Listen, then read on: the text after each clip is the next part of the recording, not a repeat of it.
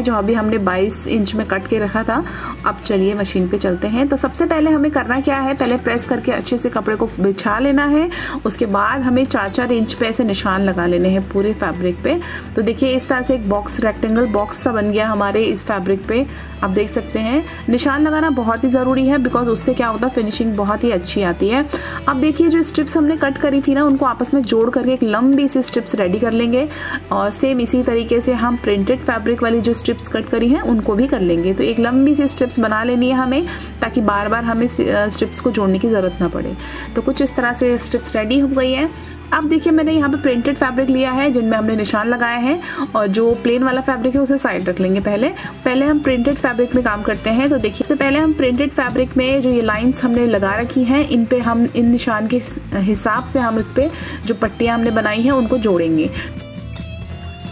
तो देखिए किस तरह से हम जोड़ रहे हैं। ये पट्टियाँ मैंने इसके ऊपर रखी और हल्का सा फोल्ड करते हुए अंदर की तरफ़ को हम पट्टियों को जोड़ रहे हैं। तो देखिए अंदर को ऐसे फोल्ड करते हुए और जो भी हमने लाइन्स लगाई हैं, उन लाइन्स के ऊपर सिलाई रखते हुए उस पट्टियों को इसमें जोड़ लेना है। कुछ इस तरह से देखिए, बहुत ही सिंपल है, बहुत आसानी से हो जाता है और हमने निशान इसीलिए लगाए हैं कि ताकि कोई गलती ना हो। तो देखिए इस तरह से कॉर्नर्स को हमें क्या करना है? अब ये कॉर्नर में आ गए, उसके बाद हमें कपड़े को ऐसे उठा करके ऐसे फोल्ड करना है ऊपर को और अब हम यहाँ से फोल्ड करते हुए वापस से पूरी स्ट्रिप्स को उस लाइन पे जोड़ते जाएँगे। देखिए कुछ इस तरह से ये जुड़ रहा है इस टाइप से यहाँ पे एक कॉर्नर सा बन गया।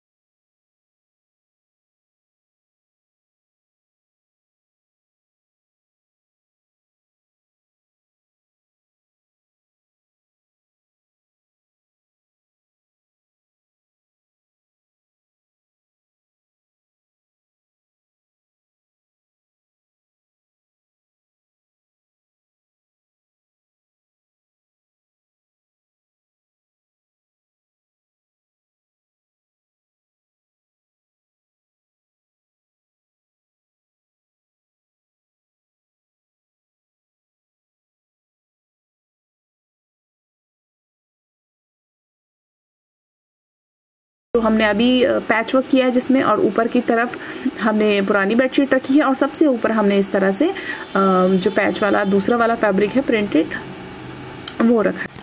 देखिए, तीनों फैब्रिक को हमने जोड़ लिया है मतलब आपस में पिनों की हेल्प से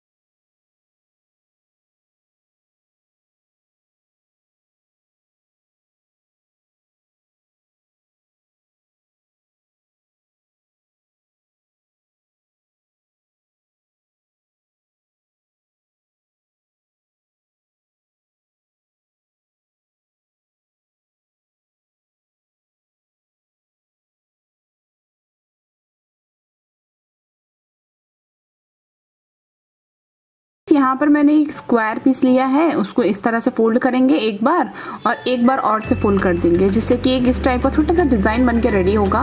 अब हम इनको ना सिलाई से स्टिच कर लेंगे ताकि ये खुले ना। तो देखिए, इस तरह से मैं पहले सिलाई लगा लेती हूँ इस पर और इसी तरीके से हमने और भी जितने भी हमने ये बनाए हैं ना, पूरे को इसमें अटैच करते जाएँगे।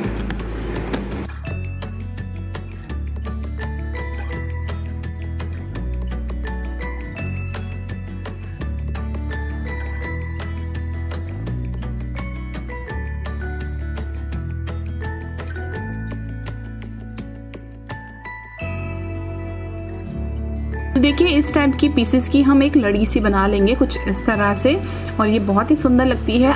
तो देखिए फ्रेंड्स ये लड़ी बन के रेडी हो गई है। अब हमने इस लड़ी को ऐसे उल्टा रखा हुआ है, देखिए इस तरह से। इसमें एडजस्ट करते हुए हमें पूरे इस पैनल पे इसको अटैच करना है। तो देखिए, इसके ऊपर इसको पहले हम सिलाई से अटैच कर लेंगे अच्छे से। ये देखिए, कुछ इस तरह से। और जितना भी एक्स्ट्रा फैब्रिक होगा उसे कट करके हटा लेंगे। तो देखिए, इस तरह से अब मैंने एक फैब्रिक की पट्टी ली है, ये भी चार इंच की है और इसके ऊपर अच्छे से सिलाई रखते हुए इसे ऐसे जोड़ लेंगे। तो इस तरह से मैंने इसे तो इस तरह से देखिए, हो गया और अब हम इसे पलट लेंगे। तो इस तरह से देखिए, कितना सुंदर सा डिज़ाइन बनके रेडी हुआ है। आप टॉप स्टिच कर ये देखिए, कुछ इस तरह से मैंने टॉप स्टिच कर ली और ये साइड देखिए कितना सुंदर लग रहा है ना। अभी साइड से इस फैब्रिक को ऐसे पलटते हुए इसको भी अच्छे से फिनिश कर लेंगे। बहुत ही सुंदर सा डिज़ाइन बन के रेडी होता है। बहुत ही प्यारा सा, आप देख सकते हो कितना सुंदर लग रहा है ना। अब सेम इसी तरीके से दूसरी तरफ़ भी हमें यही कर लेना है। अब देखो कितना प्यारा लग रहा है।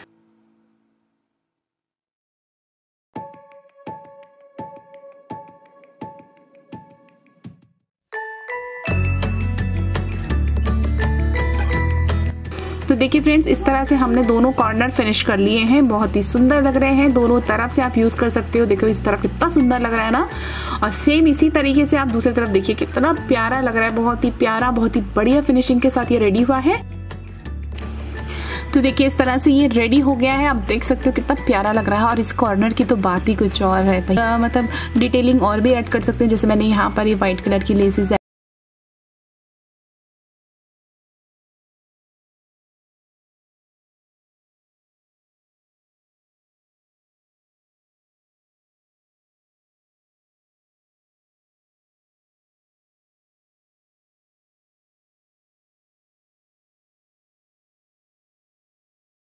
और खुद को बिज़ी रखिए। Bye bye